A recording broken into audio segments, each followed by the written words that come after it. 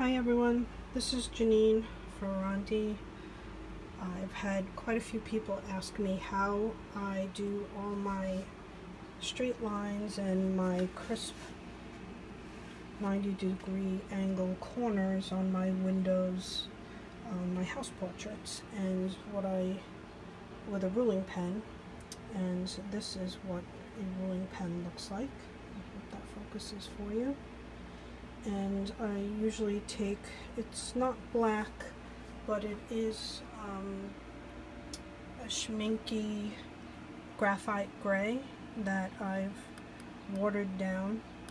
Um, so it's nice and thin and not too dark. I don't want it to be dark. It's not supposed to be black. It's just supposed to add a shadow underneath uh, my sidings or when I use it on my windows to do my 90 degree angles.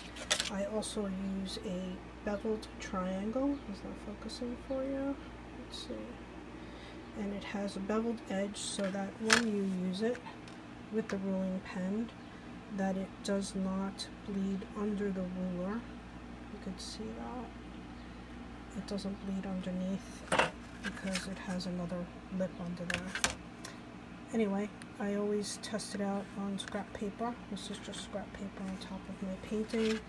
And I did it in the other video, which I'll be posting.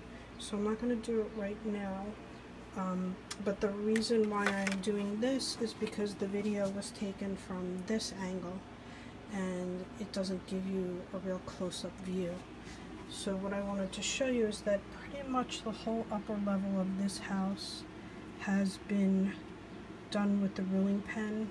So all my windows and fine corners, uh, all my siding, the lines for my siding have all been done. And I started to do the lower level on this side. I haven't cleaned up yet with, um, I clean up with a white gouache sometimes if they're really messy. And I, I was kind of messy, especially on this side.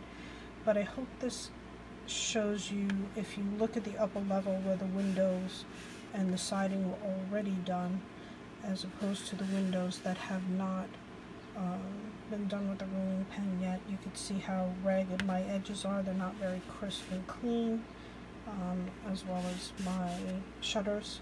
I started to do the siding, but I didn't finish. But it does make a difference um, as far as making it look that much more realistic.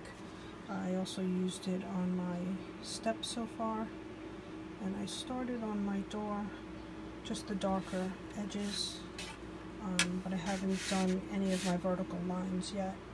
So upstairs on the upper level I have I've done my vertical lines and you can see how much more crisp they are um, upstairs here too in the attic.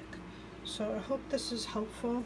Um, the other video, like I said, shows you me um, shows me using the actual ruling pen, but um, you know from like I said from this angle. So I hope this is uh, helpful that I showed you some close-ups, and uh, I'd like to see what you guys do with it. I hope it helps you out. Thanks for watching.